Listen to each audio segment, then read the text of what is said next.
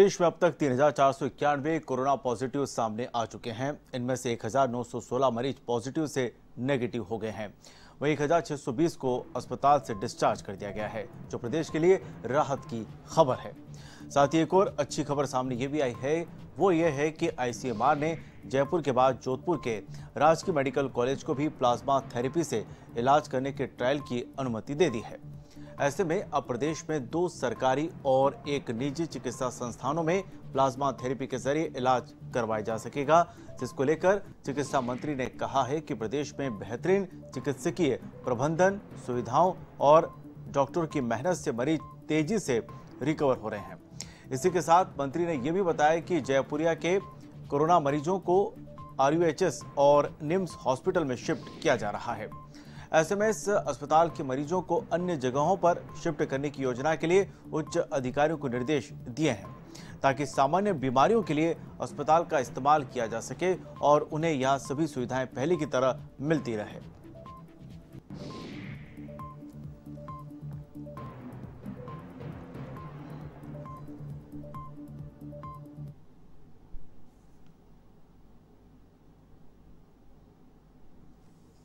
Trial की permission दी है ICMR ने।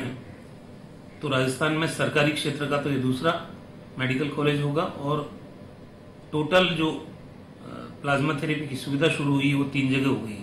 हमने मेडिकल कॉलेज कोटा को, बीकानेर को, अजमेर को और उदयपुर को भी कहा है कि वो भी आईसीएमआर से इसकी स्वीकृति लेवें, ट्रायल की, ताकि ज़्यादा जगह पे प्लाज्मा थेरेपी की सुविधा हम डेवलप कर सकें।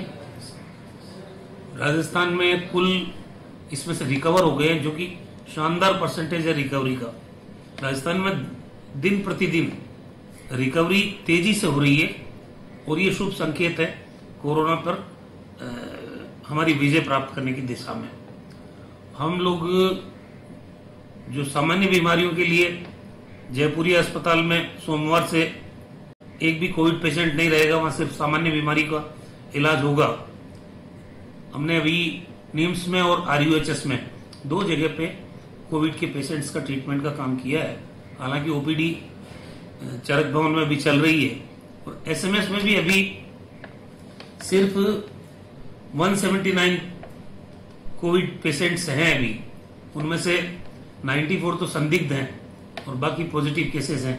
तो हम ये सोच रहे हैं कि अगर वहाँ ज़्यादा संख्या नहीं है तो वहाँ के वार्डों को भी डिसइंस्पेक्ट इन्फेक्ट करके और वहाँ भी इस पर विचार करने के लिए मैंने आज कहा है वहाँ के सुपरिटेंडेंट को और सेक्रेटरी मेडिकल एजुकेशन को और प्राचार्य महोदय को कि आप वर्कआउट करो कि एसएमएस हॉस्पिटल को हम फ्री कर सकें वहाँ के वार्डों को।